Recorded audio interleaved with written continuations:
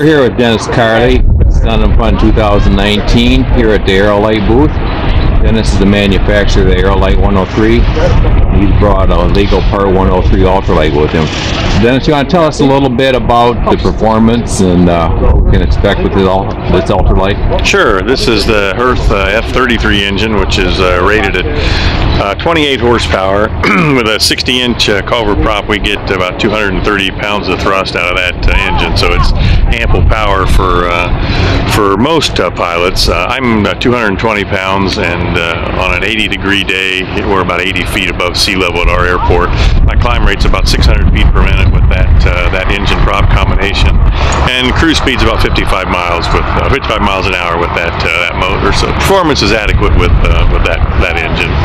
What kind of performance does the uh, fairings add to the lift struts and gear legs?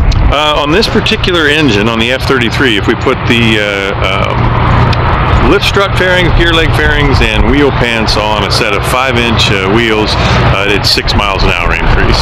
And your rate of climb, what does that do for you? 100 feet per minute on the rate of climb. And this prop, Culver prop, is that the best prop for this engine? Without any doubt whatsoever, that's the best wood prop we've ever used. And this does meet 103 weight. Uh, yes, it's actually three quarters of a pound under the weight limit this particular airplane as it sits here. with all these options Yep, it. yep. So with this engine, we can add about any option we want. Yeah, with the F-33, you can pretty much put on whatever bells and whistles you want and still be below the, the weight limits. How about what's our other engine options for this plane? Uh, well, we use uh, the Hirth 2702, which is 40 horsepower inline uh, two-cylinder fan cooled, and the Hirth F23, that's uh, 50 horsepower horizontally opposed two-cylinder. Uh, we also use Kawasaki 340 and 440 currently. Can you tell me a little bit what the performance difference is with those engines? Yeah, well, the you know, I'll give you one end of the spectrum is the F23, or I'm sorry, the F33 that's on here, and the Kawasaki 340. Those two engines, the performance numbers are almost identical. The other end of that spectrum with the F23, the 50 horsepower motor, that uh, with me in the airplane, the, it's 15 to 1600 feet per minute climb rate, and the cruise speed 65 to 70 miles an hour. And preferable engine for the Aerolite?